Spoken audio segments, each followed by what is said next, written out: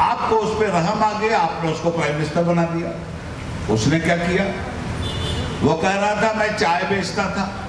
आज क्या किया उसने? देश बेचा। किसी पान बेचने वाले को बना दिया होता प्राइम मिनिस्टर कम से कम पूछ के तो चूना लगाता। इस आदमी ने तो बिना पूछे हुए पूरे देश को चूना लगा दिया कि क्या? कमरुल इस्लाम भाई के बाद अल्लाह उन्हें जन्नत अता फरमाए। वो लीडर थे। मगर उसके बाद क्या कोई लीडर आपको मिला? क्या इस शहर को क़्यादत की ज़रूरत नहीं है? क्या इस शहर में एक मज़बूत कायद नहीं चाहिए? क्या इस शहर में कमरुल इस्लाम के ख्वाबों की ताबीर नहीं चाहिए? और अगर कमरुल इस्लाम के ख्वाबों की ताबीर और एक दूसरा कमरुल इस्लाम पैदा करना चाहते हो तो मैं कहता हूँ, इस मरतबा गलती मत करना। और आज के दौर के इस अजीम शान इंसान को पूरी ताकत के साथ नासिर उस्ताद को जितवाने की कोशिश करें जमा मर्द लीडर दीजिए, एक ताकतवर लीडर दीजिए, मसाइल के लिए लड़ने वाला लीडर दीजिए, कलेक्टर की मेज पे बैठ के कलेक्टर की आँख में आँख डालने वाला लीडर दीजिए एस पी के कमरे में जाकर हाथ पकड़ने वाला लीडर दीजिए असम्बली में जाकर अपने मसाइल को उठाने वाला लीडर दीजिए, और हर तरह के गीदड़ से टकराने वाला लीडर दीजिए, जिसका नाम है नासिर उस्ताद This video presented by Al Sharai PU College for Boys and Girls, MSK Mill Road, Al Sharai PU College for Girl, Mijgori Road, Gulbarga Girls PU College, Basveshwar Colony, Al Sharai BSc Degree College for Girls, Yadullah Colony, and Happy Days Play School, Old Jewargi Road. और शेर बनकर शेर को vote दीजिए ये मैं आपसे नासिर उस्ताद साहब के लिए अपील करने आया हूँ मुल्क के हालात को आप अच्छी तरह से जानते हैं। इलेक्शन की सियासत से भी आप वाकिफ मैं थोड़ी संजीदा बातें करूँगा आपसे। आपके जज्बात से खेलूँगा नहीं। और मुझे उम्मीद है कि ये संजीदा बातें आप आसानी से हजम भी कर लेंगे और बेकार भी नहीं लेंगे। बरदरानी मोहतरम इलेक्शन होता क्यों? और हर पाँच साल के बाद ये रिवाइज क्यों होता है? मुल्क जब तक गुलाम था, तब तक आपके हाथ में ना इलेक्शन था, ना सिलेक्शन था। मुल्क की आज़ादी के बाद इलेक्शन आया और सिलेक्शन आया। इसलिए कि इस मुल्क का संविधान, इस मुल्क का दस्तूर 1947 के बाद 26 जनवरी 1950 को, जो पार्लियामेंट की सभा पटल पर डॉक्टर भीमराव अंबेडकर साहब के ज़रिए रखा गया,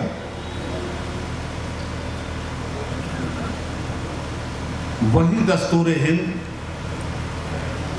हिंदुस्तानियों को दस्तूर के दायरे में रहकर आज़ादी के साथ जीने की जमानत देता है।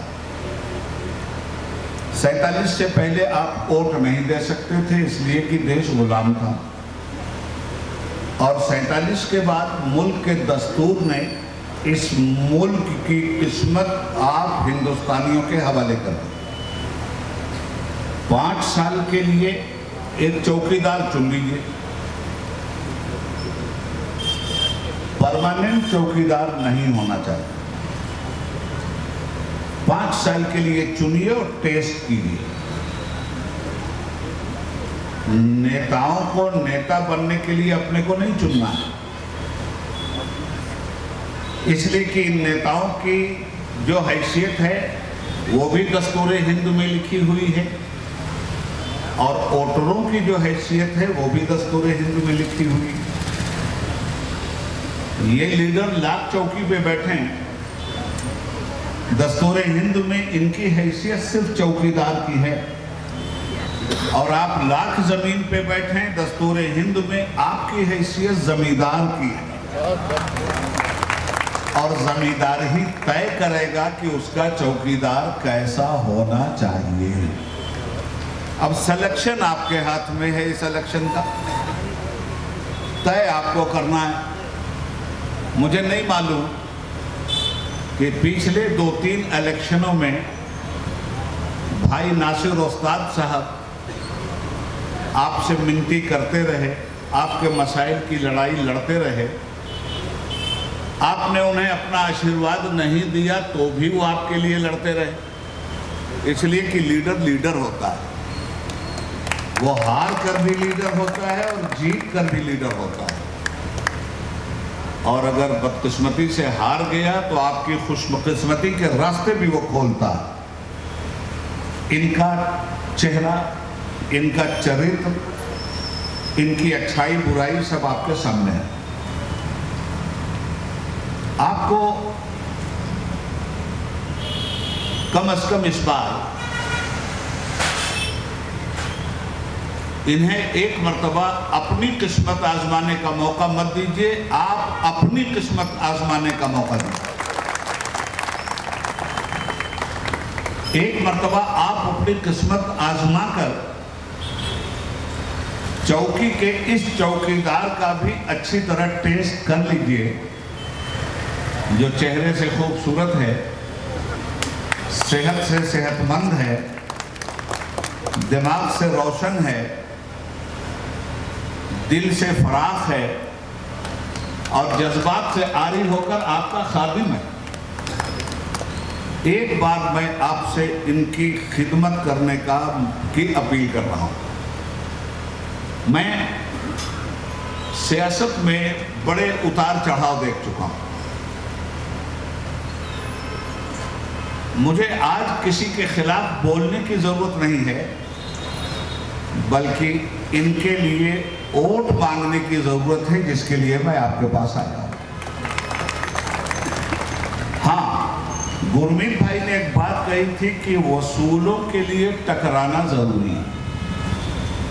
तो हमारे मुल्क के आज़ाद हिंदुस्तानियों का जो उसूल तय हुआ है दस्तूर हिंद में, वो ये है कि किसी को ये हक नहीं पहुँचता कि किसी के धर्म कर्म में वो इंटरफेयर करे।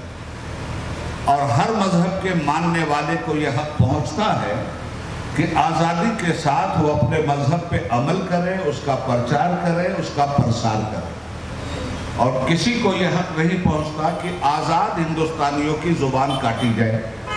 किसी को यह हक नहीं पहुँचता कि आपके गले से निकलने वाली आवाज़ को दबा दिया जाए। हिंदुस्तान में जब भी ऐसा कोई लीडर करता है या कोई पार्टी करती है या कोई हुकूमत करती है तो हिंदुस्तानियों को नोटिस लेने की ज़रूरत है।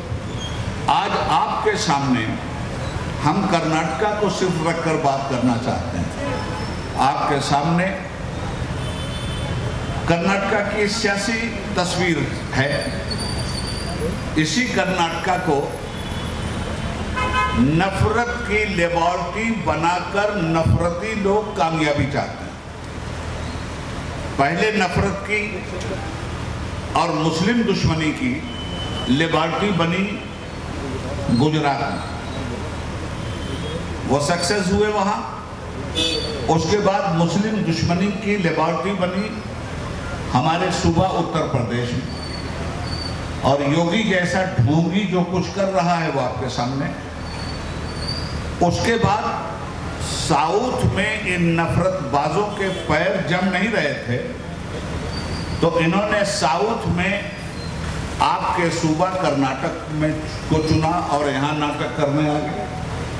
आपको याद होगा, मोदी जी तो जहाँ भी जाते हैं, बनारस गए तो बोले, गंगा मैया ने बुलाया।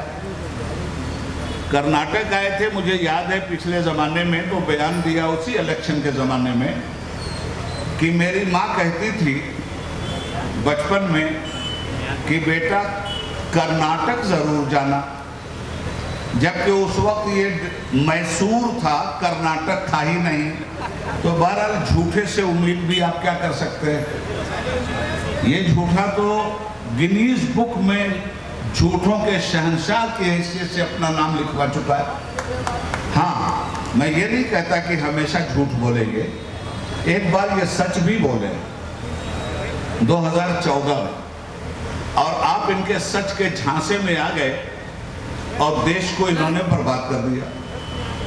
एक सच ये बोले थे 2014 वो सच मालूम नहीं आपको याद है या नहीं। मैं आपको याद दिला दूँ, इन्होंने आवाम की सिंपैथी हासिल करने के लिए आवाम से कहा था भाइयों बहनों मैं चाय बेचने वाला आपको दुलार आ गया, प्यार आ गया। आज मोदी जो डिक्टेटरशिप कर रहे हैं या बीजेपी जो हिंदुस्तान में नफरतों का की आग लगा रही है, उससे हिंदुस्तान के वोटर कम जिम्मेदार नहीं। आपको उस पर रहम आ गया, आपने उसको प्राइम मिनिस्टर बना दिया। उसने क्या किया? वो कह रहा था, मैं चाय बेचता था। आज क्या किया उसने? देश बेचा। अडानी को बेचा। देश के एयरपोर्ट बेचे। देश की रेलवे बेचा। आपका मान सम्मान बेचा। आपकी आज़ादी बेची। और आज आपके सामने सारी बर्बादी है। अगर आपको ऐसे ही चाय बेचने वाले पे रहम आया था तो आपके यहाँ ठेला पे केला बेचने वाले भी तो हैं भाई। अच्छा उन्हें भी नहीं किसी पान बेचने वाले को बना दिया होता प्राइम मिनिस्टर कम से कम पूछ के तो चूना लगाता। इस आदमी ने तो बिना पूछे हुए पूरे देश को चूना लगा दिया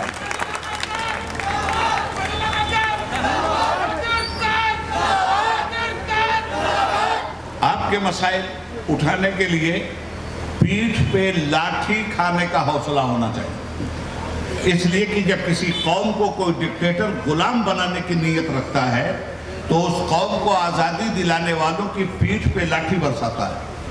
उस कौम की आज़ादी दिलाने वाले लीडर को जेल में ठूसता है। उस कौम की आज़ादी दिलाने वाले लीडर की हत्या करता है। उस कौम की आज़ादी दिलाने वाले के बाल बच्चों का अगवा करता है। उस कौम को आज़ादी दिलाने वाले की इज़्ज़त को बेइज्जती में तब्दील करता है। ये मॉब लंचिंग क्या है? ये हिजाब का मसला क्या है? ये सी ए क्या है? ये एनआरसी क्या है? ये चार परसेंट जनता दल ने, मैं चूँकि जनता दल की हिमायत में आया हूँ और इसलिए आया हूँ कि मैं बाकायदा all India senior vice president of Janata Dal की हैसियत से आपको एड्रेस कर रहा हूँ। मेरा फ़र्ज़ बनता है कि मैं अपनी पार्टी को जितवाने की आपसे अपील करूँ। हम नेकोबद हुजूर को समझाए जाएँगे, मानो ना मानो जाने जहाँ अख्तियार है। अख्तियार आप ही का है, चुनना आप ही को मैं आपसे ये कहना चाहता हूँ कि क्या कमरुल इस्लाम भाई के बाद अल्लाह उन्हें जन्नत अता फरमाए? वो लीडर थे। मगर उसके बाद क्या कोई लीडर आपको मिला? क्या इस शहर को क़्यादत की ज़रूरत नहीं है? क्या इस शहर में एक मज़बूत कायद नहीं चाहिए? क्या इस शहर में कमरुल इस्लाम के ख्वाबों की ताबीर नहीं चाहिए? और अगर कमरुल इस्लाम के ख्वाबों की ताबीर और एक दूसरा कमरुल इस्लाम पैदा करना चाहते हो तो मैं कहता हूँ, इस मरतबा गलती मत करना और आज के दौर के इस अजीम शान इंसान को पूरी ताकत के साथ नासिर उस्ताद को जितवाने की कोशिश करें। मैं मोटी मोटी बातें आपसे कर रहा हूँ। वक्त कम है, एक पाँच मिनट में अपनी बात को और समेटूँगा। देखिए, आपका ओट ये जो मॉम लिंचिंग हो रही है, ये ओट की वजह से हो रही है। ये जो इंसानियत गारत हो रही है, ये ओट की वजह से हो रही है। क्यों? आप ओट की हैसियत को समझिए। जब तक आप ओट नहीं देते और आपका ओट मतदान के पेट में नहीं जाता, तब तक न वो मुस्कुराता है, न हंसता, न रोता। है मगर जब ओट चला गया, ओट पेटी के पेट में तो उसके बाद जब निकलता तो वो साइलेंट नहीं निकलता। वो जब निकलता है तो आग बन के भी निकलता है, जो पूरे सूबे को, पूरे देश को जलाने की हैसियत रखता है, और पानी भी बन के निकलता है, जो लगी हुई आग को बुझाने की हैसियत रखता है। आपके ओट के पेट से क्या क्या निकलता है? आपके ओट के पेट से नफरत भी निकलती है, मोहब्बत भी निकलती है। आपके ओट के पेट से गरीबों को कब्रस्तान भी पहुँचाया जाता है और कब्रस्तान के मुर्दों को ज़िंदा करके हिंदुस्तान भी पहुँचाया जाता है। आपके ओट की कीमत, आपके ओट से मेरे भाई क्या क्या निकलता है? आपके ओट से सिर्फ़ एक एमएलए नहीं निकलता। आपके ओट से आपके खेत की हरियाली निकलती है। आपके ओट से आपके खेत का पानी निकलता है। आपके ओट के पेट से आपकी नहरें निकलती हैं। आपके ओट के पेट से मेडिकल कॉलेज निकलता है। आपके ओट के पेट से इंजीनियरिंग कॉलेज निकलता है। आपके ओट के पेट से साइंटिस्ट निकलता है। आपके ओट से के पेट से मदरसे निकलते हैं। आपके ओट के पेट से रिजर्वेशन निकलता है। आपके ओट के पेट से इंसानियत निकलती है। आपके ओट के पेट से आदमियत निकलती है। और आपके ओट के पेट से हैवानियत भी निकलती है। आपके ओट के पेट से शैतानियत भी निकलती है। आपके ओट के पेट से इंसानियत का रहनुमा भी निकलता है और इंसानियत को लूटने वाला डाकू भी निकलता है। आपके ओट के पेट से एक आज़ाद लीडर भी निकलेगा और आपने वोट देने में अगर गलती किया तो आपके वोट से मैं नहीं जानता कि कौन सा भविष्य निकलेगा, कौन सा मुस्तकबिल निकलेगा। इसलिए मेरे भाइयों, अपने वोट की हैसियत को पहचानिए। वोट बिकने की चीज़ नहीं है। आजकल हमारे यहाँ एक जहन बन गया है वोट के लिए नोट चाहिए। नोट के बगैर वोट नहीं देंगे। कसम खुदा की अपने नोट से हरामकारी है। ये अपने बाल बच्चों का मर्डर करने वाली बात है। आपको नोट लेके वोट नहीं देना है। अपने बच्चे को सर्विस दिलाने के लिए वोट देना है। अपने बच्चे को तालीम दिलाने के लिए वोट देना है। अपने बच्चे को ज़िंदगी बेहतर बनाने के लिए वोट देना है। अपने कारोबार की रक्षा, सुरक्षा के लिए वोट देना है। अपने शहर की उन्नति, प्रगति के लिए वोट देना है। अपने इलाके की खुशहाली के लिए वोट देना है। बर्बादी को खत्म करने के लिए वोट देना है। जहालत को खत्म करने के लिए वोट देना है। वीरान शहर को जंगल मंगल बनाने के लिए आपको वोट देना है। वोट की हैसियत को अपनी पहचानिए, इसलिए कि आपसे बेहतर इस देश को ना कोई बनाने वाला हो सकता है, ना आपसे ज़्यादा बदतर इस देश को कोई बर्बाद करने वाला हो सकता है। इसलिए कि ओट ही के पेट से बर्बादी भी निकली है, और ओट ही के पेट से आबादी भी निकली है। फैसला आपको करना है। आज आकर वो तड़ी पार गुजरात का टकला आकर के यहाँ बोल गया कि हमने मुसलमानों का चार परसेंट रिजर्वेशन खत्म कर दिया। अरे बेईमान,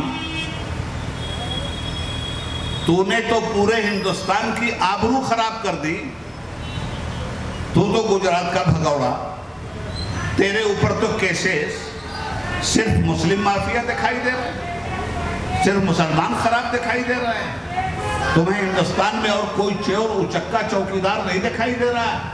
इसलिए मैं आपसे गुजारिश करना चाहूँगा और बड़े अदब से गुजारिश करना चाहूँगा कि आप बहुत समझदारी के साथ इस शहर को एक जमा मर्द लीडर दीजिए, एक ताकतवर लीडर दीजिए मसाइल के लिए लड़ने वाला लीडर दीजिए, कलेक्टर की मेज पे बैठ के कलेक्टर की आँख में आँख डालने वाला लीडर दीजिए एस पी के कमरे में जाकर हाथ पकड़ने वाला लीडर दीजिए असम्बली में जाकर अपने मसाइल को उठाने वाला लीडर दीजिए, और हर तरह के गीदड़ से टकराने वाला लीडर दीजिए, जिसका नाम है नासिर उस्ताद खुदा हाफिज।